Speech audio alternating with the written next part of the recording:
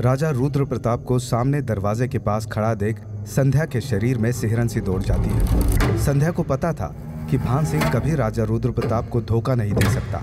उसे कुछ भी समझ नहीं आ रहा था कि अब उसे क्या करना चाहिए। संध्या बिना कुछ कहे चुपचाप भान सिंह के पीछे पीछे महल की तरफ़ बढ़ने लगती है। संध्या तुम इतनी सुबह सुबह कहाँ से आ रही हो?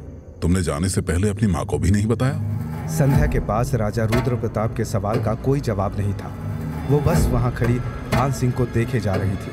संध्या की आँखों में उसका डर साफ़ दिखाई दे रहा था। संध्या हम तुमसे कुछ पूछ रहे हैं। हमारे सवाल का जवाब देने की बजाय तुम भानसी को क्यों देखे जा रही हो?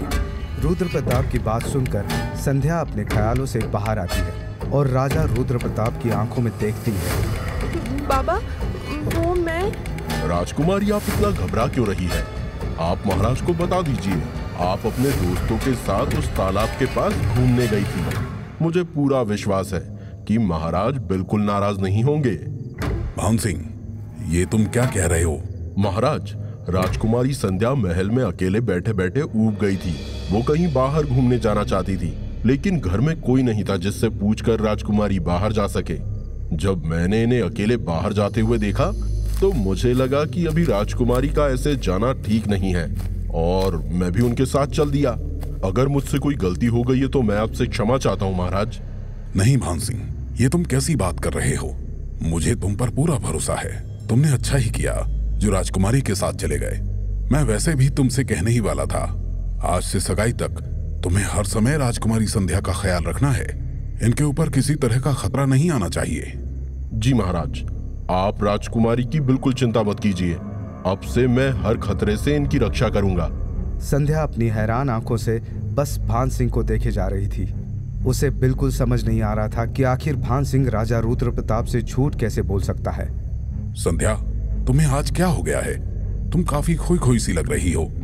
नहीं बाबा ऐसी तो कोई बात नहीं है। जाओ अंदर जाओ। दुर्गा कब से तुम्हें ढूंढकर परेशान हो रही है? राजा रुद्र प्रताप की बात सुनकर संध्या फिर से एक नज़र भान सिंह को देखती है। और चुपचाप महल के अंदर चली जाती है। अंदर घुसते ही उसे सामने रानी दुर्गावती मिल जाती है जो थोड़े गुस्से में लग रही थी। संध्या तू ऐसे बिना बताए कहाँ चली गई थी? तुझे अंदाज़ा भी है? मैं कितना परेशान हो गई थी। माफ़ करना माँ लेकिन सुबह घर में कोई भी नहीं था। न तुम न बाबा और न मंदाकिनी मौसी। मैंने काफ़ी देर तक तुम सबका इंतज़ार किया लेकिन जब मुझे कोई नहीं दिखा तो मैं अपने दोस्तों के साथ खेलने चली गई। वैसे तुम और मंदाकिनी मौसी इतनी सुबह कहाँ गए थे?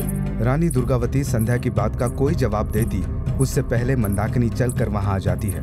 हम लोग छोटे महल में गए थे राजा चंद्रभान और राजवीर के रुकने की व्यवस्था करने। महाराज ने कहा है कि तेरे राजवीर की खातिरदारी में कोई भी कमी नहीं होनी चाहिए। मंदाकिनी तू अभी शांत रहे। हमेशा मज़ाक करती रहती है। चाहे जो भी हो संध्या तुझे ऐसे बिना बताए नहीं जाना चाहिए था। तीन दिनों में तेरी सगाई होने वाली है। अब चाहे जो भी हो तू अगले तीन दिनों तक महल से बाहर भी नहीं निकलेगी। ठीक है माँ। अगर तुम कहती हो तो मैं ऐसा ही करूँगी। चल अब तू अपने कमरे में जाकर हाथ मुँह धो ले। फिर हम सब एक साथ खाना खाएँगे। रानी दुर्गावती की बात सुनकर संध्या हाथ मुँह धोने के लिए अपने कमरे में चली जाती है। पानी से अपना चेहरा धोकर संध्या अपने कमरे में बैठ जाती है और भान सिंह के बारे में सोचने लगती है। संध्या अब तक विश्वास नहीं कर पा रही थी कि भान सिंह ने राजा रुद्र प्रताप से झूठ कहा। आखिर ये कैसे हो सकता है? भान सिंह तो बाबा से कोई बात नहीं छुपाता। फिर उसने मेरे कहने पर बाबा से ये बात क्यों छुपाई कि मैं वहाँ अपने दोस्तों से नहीं शेखर से मिलने गई थी? थोड़ी देर बाद संध्या अपने कमरे से निकलकर खाना खाने के लिए चली जाती है। राजा रुद्र प्रताप दुर्गावती और सात साल का नन्हा देवराज पहले से ही वहाँ पर बैठे हुए थे। आओ संध्या हम सब तुम्हारा ही इंतज़ार कर रहे थे। जल्दी भोजन कर लेते हैं। राजा चंद्रभान राजकुमार राजवीर के साथ किसी भी वक्त रत्नागिरी पहुँचते होंगे। संध्या के बैठने के बाद वो सब खाना खाने लगते हैं। उन्हें बैठे कुछ ही देर हुई थी कि एक आदमी भागते हुए वहाँ आता है। महाराज महाराज वो लोग आ गए। शंभू पहले सांस ले लो। फिर मुझे बताओ क्या बात है? महाराज राजा चंद्रभान अपने आदमियों के साथ रत्नागिरी पहुँच चुके हैं। वो बस महल पहुँचने ही वाले होंगे। शंभू की बात सुनकर राजा रुद्र प्रताप और दुर्गावती फ़ौरन उठ जाते हैं और महल से बाहर जाने लगते हैं। मंदाकिनी तू मेरे साथ आ। हमें आरती की थाली लेकर उनका स्वागत करना है। और संध्या तू अपने कमरे में जा। ठीक है माँ। संध्या फ़ौरन वहाँ से उठकर वापस अपने कमरे में चली जाती है। कमरे में जाकर वो खिड़की के पास बैठ जाती है। और खिड़की से बाहर देखने लगती है। बाहर का रास्ता लोगों की भीड़ से भरा हुआ था। राजा रुद्र प्रताप की टोली घोड़ों पर सवार महल के सामने पहुँच चुकी थी और रत्नागिरी के लोग फूल छिड़क कर उन सबका स्वागत कर रहे थे। महल के दरवाजे के ठीक सामने राजा चंद्रभान खड़े हुए थे। उनके साथ एक लड़का भी खड़ा था, जो देखने में काफ़ी आकर्षक लग रहा था। अचानक रानी दुर्गावती वहाँ आती है और उस लड़के की आरती उतारने लगती है। वो और कोई नहीं राजकुमार राजवीर था जिससे संध्या की शादी होने वाली थी। देव डायरी पढ़कर अंजलि को सुना ही रहा था कि अचानक उसके फ़ोन पर किसी का कॉल आ जाता है।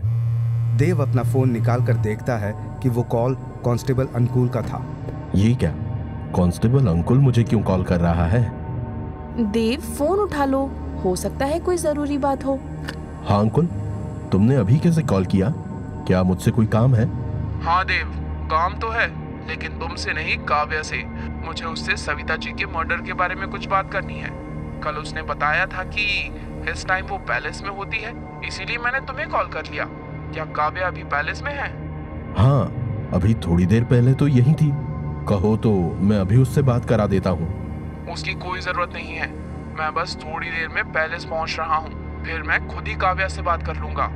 लेकिन अगर तुम यहाँ आए तो मैं शुभम अक्षय और बाकी सबसे क्या कहूँगा? डीएसपी मौर्य ने किसी को भी सविता दीदी की मौत के बारे में बताने से मना किया है। तुम उसकी चिंता मत करो देव। वो सब मैं संभाल लूँगा। क्या हुआ देव? अंकुल ने क्या कहा? सब कुछ ठीक तो है ना? हाँ अंजलि। घबराने की कोई बात नहीं है। अंकुल को काव्या से सविता दीदी के बारे में कुछ बात करनी है। इसीलिए उसने फ़ोन लगाया था। वो बस यहाँ आता ही होगा। हमें नीचे चलना चाहिए। इसके आगे की डायरी हम शाम को पढ़ेंगे। ठीक है देव। देव रानी दुर्गावती की डायरी को वापस अलमारी में रख देता है और फिर वो दोनों रूम बंद करके नीचे हॉल में चले जाते हैं। शुभम अक्षय और शिल्पा पहले से ही हॉल में बैठे कुछ बातें कर रहे थे। देव और अंजलि को वहाँ आते हुए देखकर वो तीनों अचानक चुप हो जाते हैं। तुम सब यहाँ बैठे ऐसी क्या बात कर रहे थे कि हमारे आते ही सब चुप हो गए? लगता है अंकुल आ गया। रुको। मैं अभी उसे अंदर लेकर आता हूँ। देव हॉल से बाहर निकलता है और जाकर पैलेस का दरवाज़ा खोलता है। दरवाजे के बाहर अंकुल ही खड़ा था। देव अंकुल को अंदर बुलाता है और उसे भी अपने साथ हॉल में ले आता है। अचानक अंकुल को पैलेस में देखकर वहाँ बैठे बाकी लोग शॉक्ड हो जाते हैं। अंकुल तुम यहाँ? सब कुछ ठीक तो है ना? हाँ शुभम सब बिल्कुल ठीक है। तुम्हें डरने की कोई ज़रूरत नहीं है। फिर तुम इतनी दोपहर में यहाँ कैसे? मैं काव्या को अपने साथ ले जाने आया हूँ। क्या तुम प्लीज़ उसे बाहर ले आओगे? क्या? लेकिन काव्या ने क्या किया है? जो तुम्हें उसे अपने साथ ले जाने यहाँ आना पड़ा?